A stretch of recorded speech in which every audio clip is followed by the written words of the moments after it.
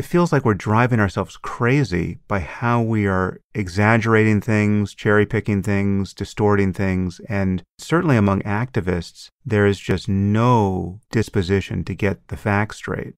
I mean, this is, this is another asymmetry that I've noticed when you're talking about what it's like to interact with the far left and the far right.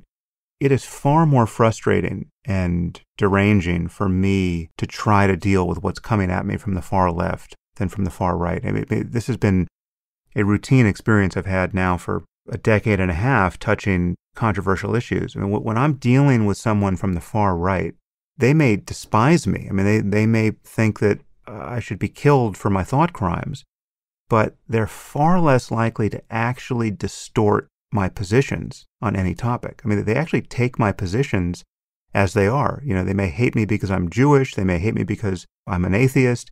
They may think I'm going to hell.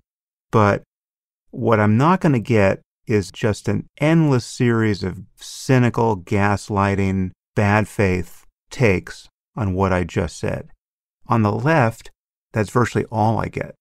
And that asymmetry bothers me because I'm attempting to you know, widen the purview of the reality based community here and talk about facts honestly, and then we can prosecute our disagreements on that basis. But I mean, what we're noticing coming from the left now is a, an appetite for destroying the reputations of people for reasons that are this goes under the, the meme of you, you know you have to break eggs to to make an omelet.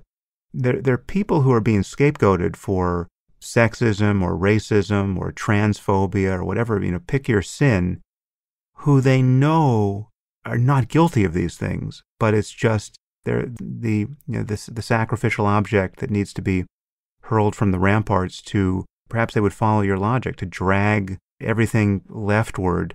You know, you have to be that extreme. But it's it is stifling honest conversation in science and elsewhere in media to a degree that I, you know, I'm I'm totally unfamiliar with. I mean, maybe this was true a few decades ago when political correctness first became a, a meme, and I was just too young to appreciate it. But it does really feel like a new moment of moral panic on the left, which is capturing so much of the mainstream.